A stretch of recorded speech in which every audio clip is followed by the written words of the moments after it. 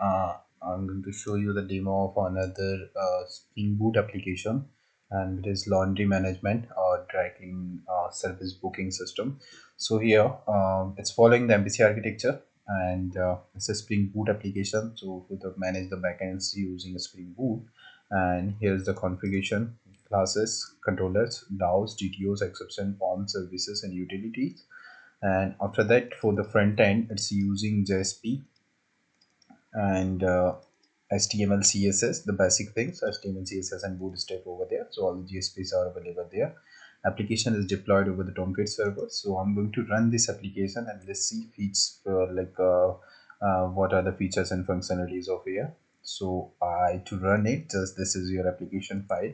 Go right click here, go to run as run it as a Java application and to manage the backend meanwhile the server is going to start. I will show you the backend thing. So it's using the mysql database to manage the backend and these are the tables. So here's the user table. It contains the existing records. So username and password is available here under the mysql. Okay so uh, if you can see the console here in the console we have the tomcat as starting on 9090 port number which is the port number and the context path is this. So also in the application property we have mentioned the context path here. In order to run it just open your browser and go to localhost enter the specific port number and that is running on 9090 and just enter the context path. The application will launch uh, over your browser and this will be your welcome screen here okay it's taking some time. Okay now it's launched. So this is your welcome screen. And here in the welcome screen we have two options like registration and login. So user can registration over register over there or user can perform the login. So if they are the existing user or new user user can register. So let's uh, do some registration. I just enter the dummy data here. And if you can see there are number of records are 3 into the user table. So when I submit this I just need to enter a valid contact number here first. And first name last name the password is okay. Here I need to enter a valid email number. So it's using such kind of validation. So make sure while you're entering the data enter a valid data and the city. So let's enter some test data. Register like user then is registered successfully. That's showing the username as well and now if you see the fourth record is inserted into the database as a user. So there are two types of users admin and the user. Admin means the service provider. So one by one we'll log in by them and we'll see what user can do and what other user uh, what uh, admin can do and what other user can do over there. So i just enter the email and enter the password and when I hit the login button it will launch and re redirect me over the welcome page. So here as an admin I can see the view users. So whatever the registered users are available into the database will display here. Also I can search the search the users by the city name or search user by the first name like this. Okay so these are the availabilities for the admin for the users. Under that after that we have a service provider so i can register any service provider if is there any service provider. So let's suppose as an admin i want to add a service provider. So i just entering the dummy data here again. And let's suppose the data is coming for the mumbai location. And okay new tackling store right? State Maharashtra I guess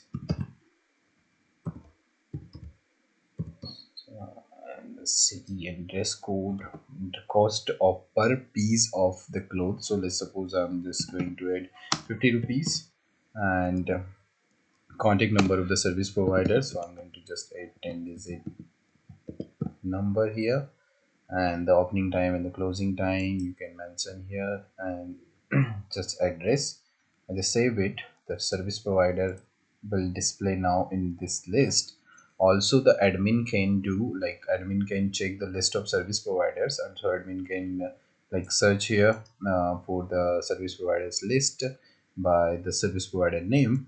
So if i'm going to enter this here user admin can search and filter out the data. Also we can filter the data according to the city also yeah like this. Also if admin wants to edit the record admin can edit the record like this. Let's suppose i need to update the price a 40 rupees so i can just edit and save the things and it's updated as a 40 also i can delete this record so i just need to make a check here and click on the delete button. The data will be deleted automatically.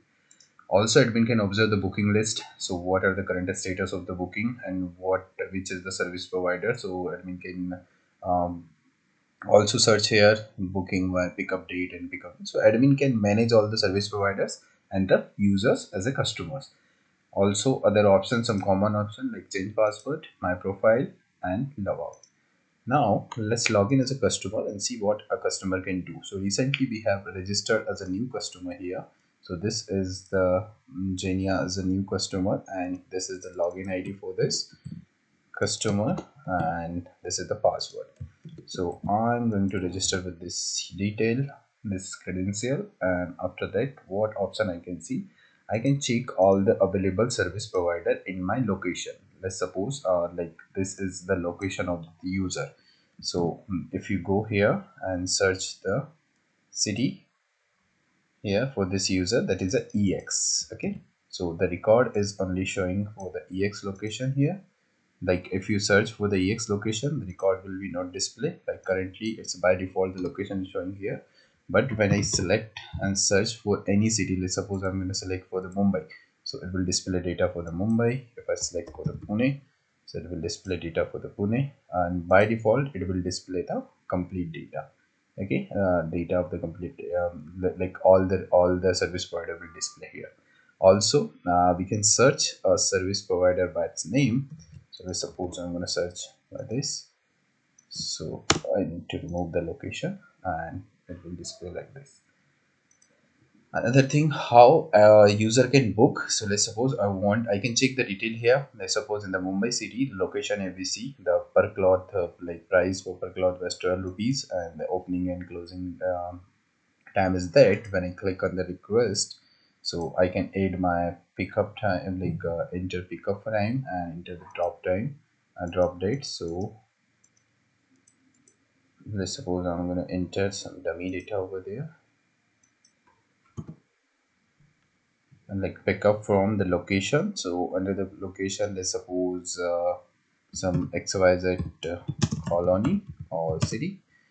And the date here and number of clothes. So i'm just entering number of clothes let's say 20 book scheduling i need to pay the amount. So the amount 20 is uh, multiplied by 20 or 12 then the total amount is 240 and i need to enter my card details and expiry dates. So let's suppose 08 and 2025 and CVV number some valid three digit number.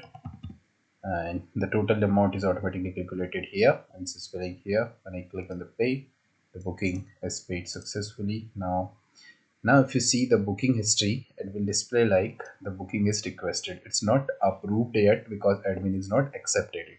So admin need to accept it. So i'm going to um, log in this user as an admin as well. So i'm just going to open a new window and here in this window i will log in as an admin and will approve the request that is coming from the customer for the laundry booking. So i just enter the username password for the admin and if i see here into the booking list the new request is come from the Genia user and which is number of clothes is 20 and all the details. So I can click on this to confirm the booking. I just need to check it and click on the confirm. So booking is accepted. Now if I move to my user account again here and I refresh the mail its booking is accepted. And some common option change password my profile so that's it. Like uh, this is a uh, like service provider kind of application where uh, admin can add the multiple service providers and user can request them to for their services for their laundries and customer can book and uh, like customer can pay over there. And in case you need the source code you can contact us over the whatsapp over the mail and uh, you will check the link in the description. You will get complete detail of the application pricing and we have multiple services like if you need the configuration at your machine so we have the remote support. So our team will connect with you remotely and we'll do the setup entirely like this and after that you just need to run and follow this demo. Also if you need any kind of explanation related to the code we have multiple services so just connect and uh, connect to the support and ask for the services they will share all the detail with you. And if you are looking for this project this is uh, like you can connect there. Thank you